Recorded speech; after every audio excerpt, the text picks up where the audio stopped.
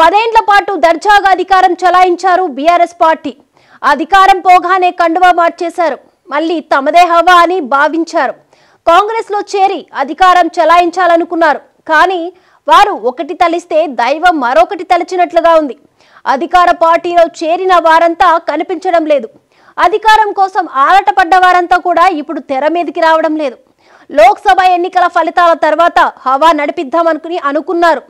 అధికారం కోసం ఆరాటపడ్డ వారంతా ఇప్పుడు తెర మీదకి రావడం లేదు. ఉమ్మడి ఆదిలాబాద్ జిల్లాలో హస్తం పార్టీలో చేరిన బీఆర్ఎస్ మాజీ ఎమ్మెల్యేలు ఎందుకు రాజకీయంగా కనుమరుగు అవుతున్నారు? ఇంతకీ ఆ నేతలు ఎవరు? వారి భవిష్యత్ ఏంటో తెలియాలంటే ఈ స్టోరీ చూడండి.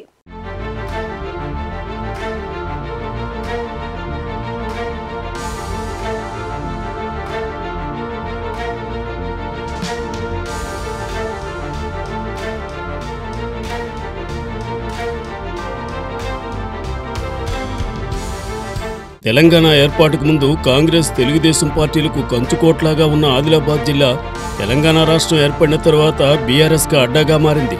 తెలుగుదేశం పార్టీ నాయకులందరూ బీఆర్ఎస్ తీర్థం తీసుకున్నారు. గత పదేళ్ళుగా తెలంగాణలో బీఆర్ఎస్ హవా కొనసాగింది. పదేళ్ళ పాటు పదవి అధికారం అనుభవించిన పార్టీ నేతలు ప్రభుత్వం మారడంతో కాంగ్రెస్ తీర్థం పుచ్చుకున్నారు. ఉమ్మడి జిల్లాలో పది స్థానాల్లో పోటీ చేస్తే రెండు స్థానాల్లో మాత్రమే బీఆర్ఎస్ గెలిచింది. వాటింపాలైన మాజీ మంత్రి ఇంద్రకరణ్ రెడ్డి కోనేరు కోనప్ప విఠల్ రెడ్డి కొద్ది రోజులకే కాంగ్రెస్ పార్టీలో చేరారు. బీఆర్ఎస్ నుంచి టికెట్ రాకపోవడంతో మారిన రాజకీయ పరిస్థితుల నేపథ్యంలో రేఖానాయక్ రాథోడ్ బాపురావు సైతం హస్తంగూటికి చేరారు. ఇలా బీఆర్ఎస్లో ఎమ్మెల్యేలుగా పనిచేసిన ఐదుగురు ఇప్పుడు కాంగ్రెస్లోనే కొనసాగుతున్న క్షేత్రస్థాయిలో వాళ్ళు కనిపించడం లేదు.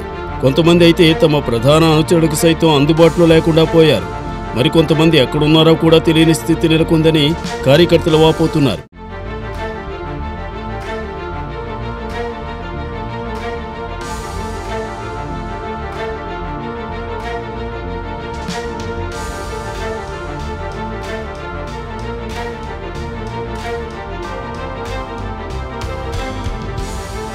పార్టీ మారిన వారిలో ఎక్కువ శాతం ఉమ్మడి ఆదిలాబాద్ జిల్లాకు సంబంధించిన వారే. పార్లమెంట్ ఎన్నికల ముందు పార్టీ మారిన ఆదిలాబాద్ లోక్సభ ఎన్నికల్లో కాంగ్రెస్ అభ్యర్థి సుగుణమ్మ బీజేపీ అభ్యర్థి నగేష్ చేతిలో ఓడిపోవడంతో వీళ్ళంతా గుప్చప్పయ్యారు. కాంగ్రెస్ ఆదిలాబాద్ పార్లమెంట్ స్థానం కైవసం చేసుకోకపోవడంతో కనుమరుగైనట్లు తెలుస్తోంది. దాంతో ఎంపీ ఎన్నికల తరువాత నుంచి వారంతా కనీసం కేడర్కు అందుబాటులో లేకుండా పోయారనే పరిస్థితి అర్థం చేసుకోవచ్చు.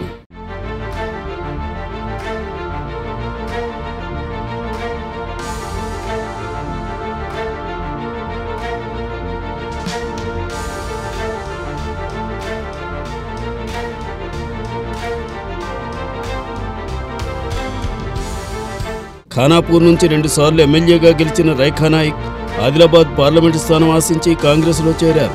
కానీ కాంగ్రెస్ పార్టీ ఆ టికెట్ తనకివ్వకుండా ఆదివాసీ సమాజానికి చెందిన ఆత్రం సుగునకివ్వడంతో ఆమె సైలెంట్ అయినట్టు తెలుస్తోంది.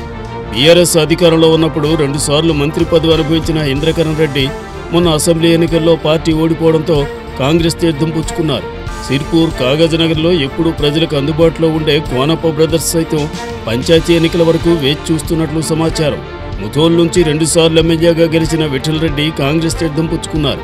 ఉపాధ్యాయ వృత్తి నుంచి రాజకీయాల్లోకి వచ్చిన బోధ్ మాజీ ఎమ్మెల్యే రాథోడ్ బాపురావు బీఆర్ఎస్ నుంచి బీజేపీ బీజేపీ నుంచి కాంగ్రెస్లో చేరిన నియోజకవర్గంలో చురుకైన పాత్ర పోషించడం లేదని కార్యకర్తలు వాపోతున్నారు. బీఆర్ఎస్ పార్టీ అధికారంలో ఉన్నప్పుడు జిల్లాలో కీలక పాత్ర పోషించిన నేతలు ఒక్కసారి సైలెంట్ కావడంతో నేతలను నమ్ముకున్న కార్యకర్తలు అయోమయంలో పడ్డట్టు సమాచారం.